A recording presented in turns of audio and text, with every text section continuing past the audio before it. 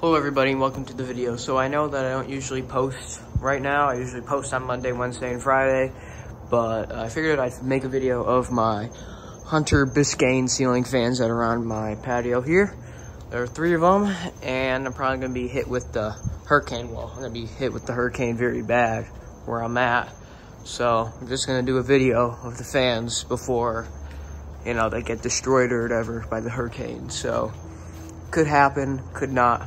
I don't know. So we're doing a video of them before they get destroyed.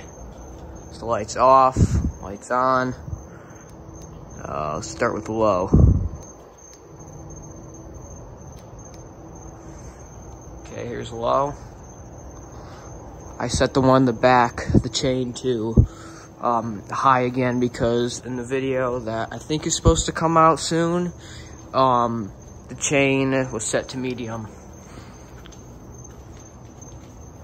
Just gonna be a quick little video of them before they get demolished by the hurricane, so.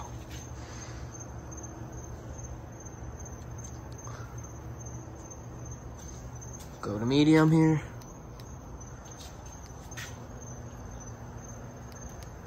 Okay.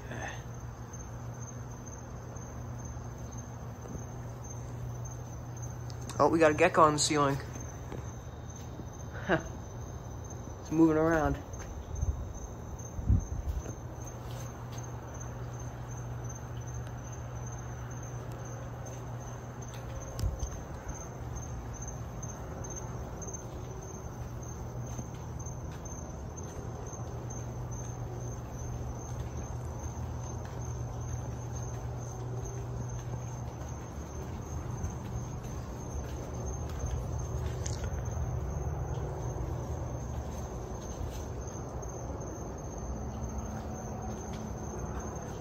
Just go to high now.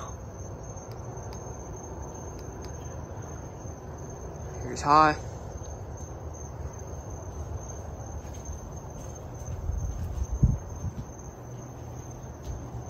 These fans are honestly pretty decent for being new and being hunter quality, if I'm being honest. Gecko's still up there. Yeah, I think that's him. Yep, it's the gecko.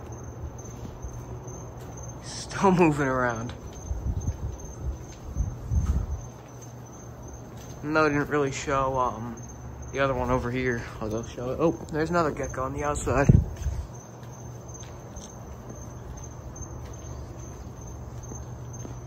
There's this one.